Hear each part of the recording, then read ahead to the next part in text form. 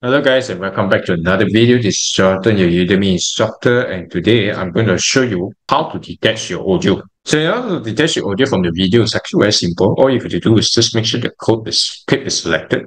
What you got to do is just uh, right click, right click on the video, right click on the video and then go all the way down to detach.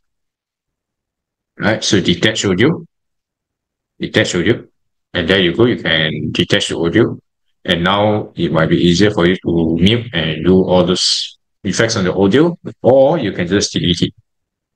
And there you go. Now you don't have an audio. So if you want to say you just do not want the audio, but just the video, or you want to, you know, change the audio or I don't know, anything. So you can actually do it here. So just detach the audio, delete, and input another audio in. You may, yes, you can. So, and then you can export, and then the video you just follow here. So that's it, guys. So I hope you really enjoy this lecture. Uh, see you in the upcoming lectures and have a great day.